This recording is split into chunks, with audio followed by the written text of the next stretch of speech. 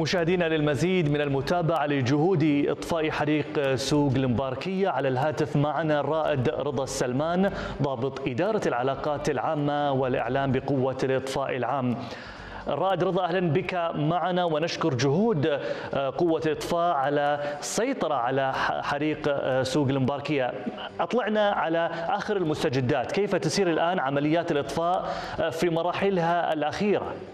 نعم نعم. بداية مساء الخير عليك أخوي سعود وأيضا الخير على جميع المشاهدين.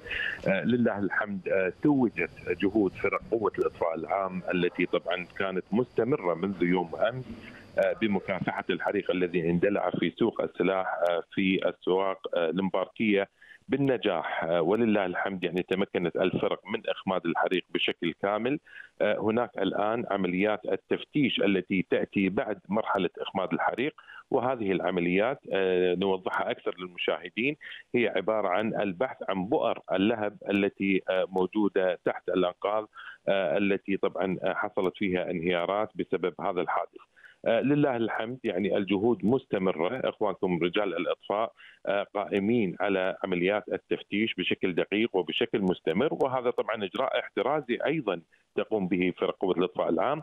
كذلك يعني أيضا يعني لله الحمد اليوم ظهرت النتائج المؤدية إلى هذا الحريق وهو مثل ما ذكرت حضرتك قبل قليل هو أتى بسبب أعمال اللحيم التي كانت موجودة في إحدى محلات العطور ومن ثم انتشر الحريق وطبعا وقعت كل هذه الخسائر، لله الحمد الخسائر البشرية لم تكن موجودة في هذا الحادث، إحنا طبعا نتطلع دائما إلى أيضا استيفاء اشتراطات الأمن والسلامة وهذا دور قطاع الوقاية في قوة الاطفاء العام، أيضا المرور على جميع الأماكن والمواقع لتطبيق الاشراطات الوقائية التي تضمن سلامة جميع هذه المنشآت. وخصوصا إحنا اليوم نتكلم عن معلم من معالم دولة الكويت سوق المباركيه تعرض لهذا الحادث. لله الحمد يعني تمكنت الفرق من السيطرة على الحريق في يعني إحنا نقول اليوم ظروف لله الحمد أيضا ساعدت في إخماده بالشكل المطلوب. وأيضا نطمئن جميع المشاهدين. الآن إحنا عندنا مرحلة إعادة الإعمار.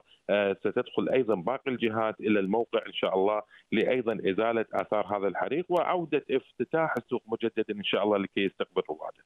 نعم كل الشكر لك الرائد رضا السلمان ضابط إدارة العلاقات العامة والإعلام بقوة الإطفاء لك ولجهود قوة الإطفاء العام وجميع الجهات المشاركة في إخماد هذا الحريق.